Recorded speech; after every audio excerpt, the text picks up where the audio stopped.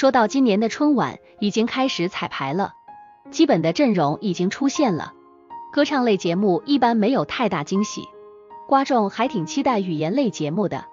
今年沈腾和马丽也出现在了春晚的第二次彩排，还是很多人期待的。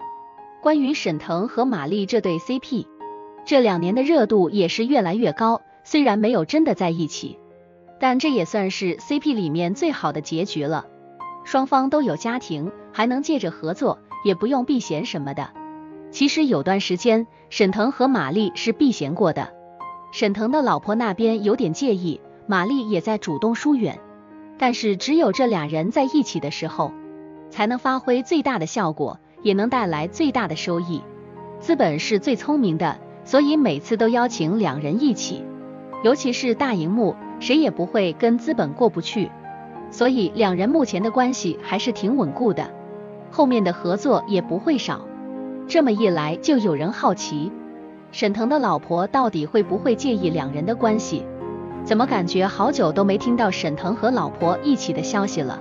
尤其是在沈腾去国外看病之后，两人各种传闻就没消停过。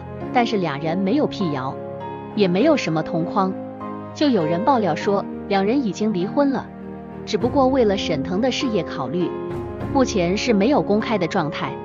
关于两人离婚的原因，跟沈腾去日本也有关系，说沈腾当时去日本根本就不是看病。而是他有一个私生子出生了，所以老婆才没有跟他一起去。两人也是因为这个私生子才离婚的。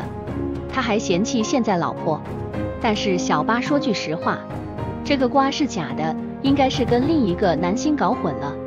沈腾老婆的性格，瓜众也知道，要是沈腾真的有私生子，他是一定会闹翻天的。